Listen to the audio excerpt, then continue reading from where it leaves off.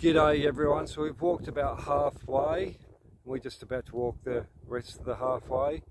I'll turn the camera around and I'm going to tell you something. So right now Grant, where we're going to walk basically is where the little tiny sand dunes start. Yep. So during summer they're like rolling sand dunes when the hot summer winds come. Mm. And these sand dunes will reveal all the other other Aboriginal relics. Yep. So always when the wind blows during summer, like the Albany Doctor and so forth, or the late afternoon big windstorms, yeah.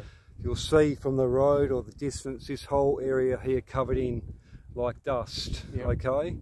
So where we're about to walk right now is all little tiny sand dunes. So uh, it's going to be really uh, special, uh, mate. You'll, awesome. you'll yeah. understand yep. what I mean. Yep.